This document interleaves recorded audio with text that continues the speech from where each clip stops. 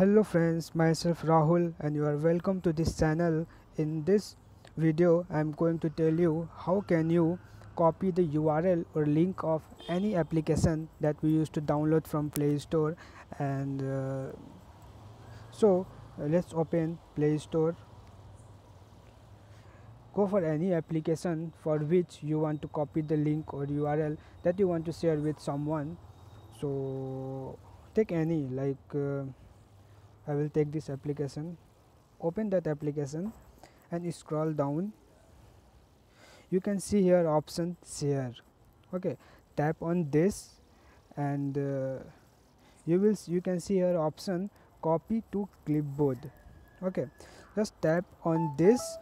After tapping on this that link is copied in your clipboard. So let's uh, we can paste and check it it is copied or not.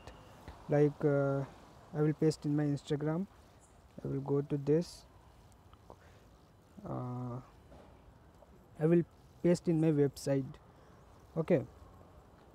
Now let's check. I will click on this link. Now you can see.